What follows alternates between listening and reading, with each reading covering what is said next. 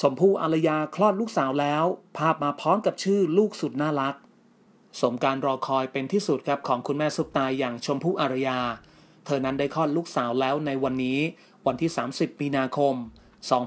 2565 พร้อมกับเผยที่มาของชื่ออย่างเป็นทางการที่มาจากพายุ หรืออาบิเกล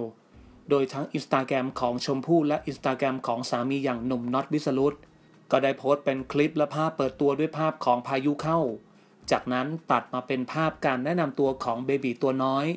Welcome to the world Abigail เรียกว่าเป็นการเฉลยชื่อลูกสาวได้แสนจะเก๋มาก คือน้องอาบิเกล เป็นชื่อของพายุนั่นเอง มีความหมายใกล้เคียงกับชื่อของพี่ชายฝาแฝดอย่างสายฟ้าพายุ ต้องบอกก่อนเลยครับว่าเป็นชื่อที่เก๋เท่และน่ารักมากๆ โมเมนต์ต่อไปที่หลายคนอยากจะเห็น